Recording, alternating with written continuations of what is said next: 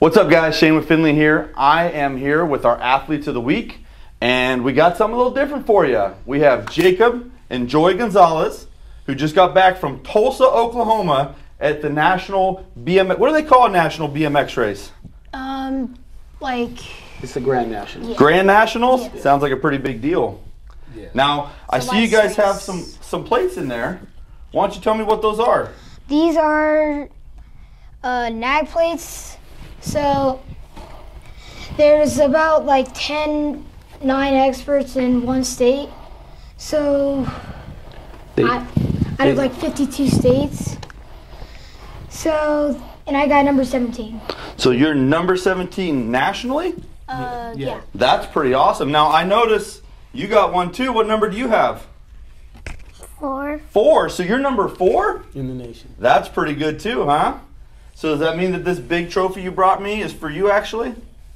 Oh, this is your trophy? Oh, okay. I thought you were gonna bring me a trophy.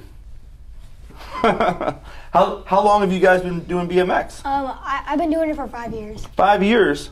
And how long have you been doing it? What? Four years? No, she's been doing it. She's she's been riding since she's been like three. I don't. I know you're not supposed to ask. How old are you? Five. So you've been doing it almost your whole life. Yeah. That's pretty awesome.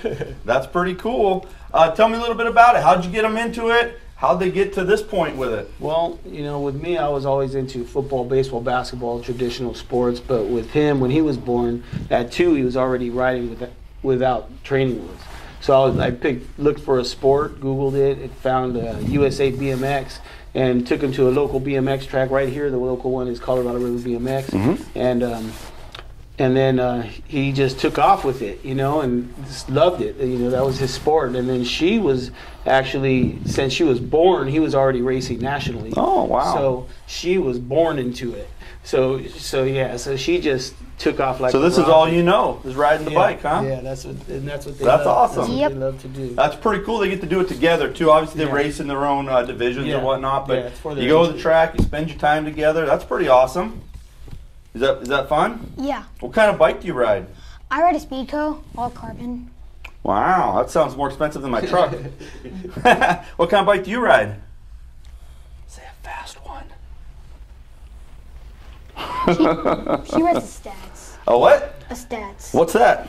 Um, it's a bike and it's well, well the frame is all aluminum and she has aluminum tires, uh, aluminum cranks, aluminum pedals, and carbon bars. Wow. So now you guys race here locally in Bullhead City. That means you guys uh, work with Turnell. Is that Yes, sir. correct? Yeah. Yes, sir. So Turnell actually has a great program. If anyone wants to get involved, go down and check it out. What nights do you guys ride usually? Uh, they're open th- right now. They're open Thursdays for practice, Friday for racing. Okay. But um, they're trying to throw in another race week if they get more people down. So now I noticed that this was all last weekend, right? Yeah.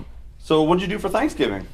Um, so one of the well the team's owner's wife she she, she made a Thanksgiving dinner. Oh, so you got the turkey, you got everything? Oh, yeah. So you had the best of both worlds. You got to Right. race and eat. Yeah. Yeah, they It's a lot for, to be thankful for there, yeah, huh? yeah, they ride for a factory team called Helium, and uh, they really take good care of them. That's awesome. That's so cool to hear. Uh, when's your next big race coming up? Um, Silver Dollar, yeah.